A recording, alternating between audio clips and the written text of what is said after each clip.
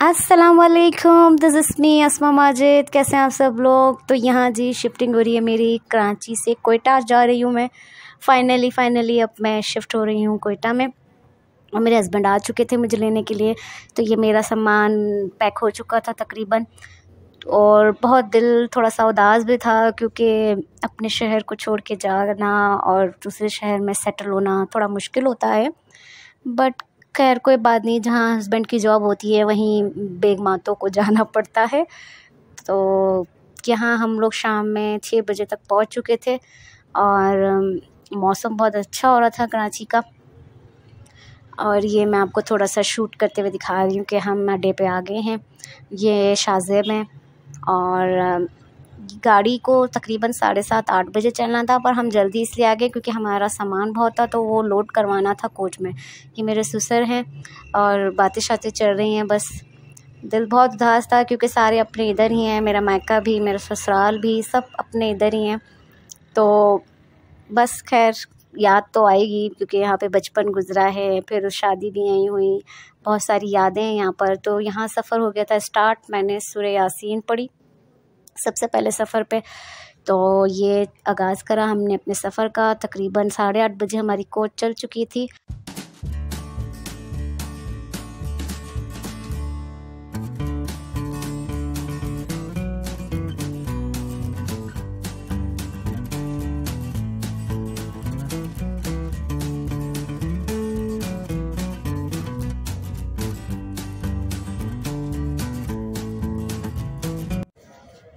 हाँ जी तो यहाँ पर तकरीबन साढ़े बारह कोई एक बजे के करीब था तो हमारी कोच खाने पे, होटल के करीब रुकी थी। हमने यहाँ पे खाना वाना खाया और उसके बाद फिर हम अपने सफ़र पे निकल पड़े।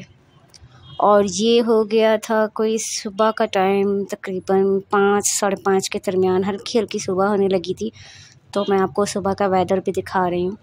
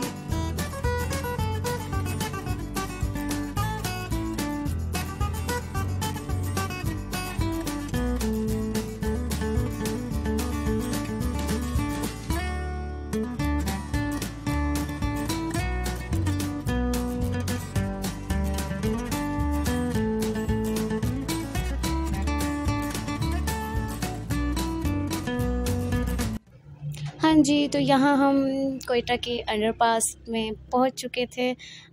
तकरीबन ये कोई टाइम हो रहा था सुबह के आठ, साढ़े आठ, और हम अपने घर से बस थोड़ी सी देर दूर थे।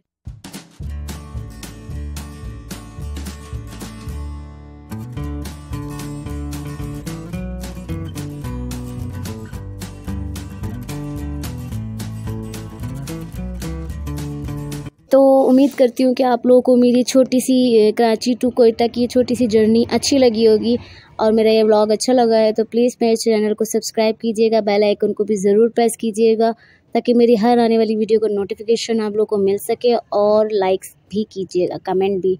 तो यहाँ हम सदाबहार के टर्मिनल पे पहुँच गए थे, शुक्र अल्हम्दुलिल्लाह। मिलते हैं नेक्स्ट वीडियो में, तब तक के लिए अपना बहुत सारा ख्याल रखिएगा, अल्लाह हाफिज़ बाय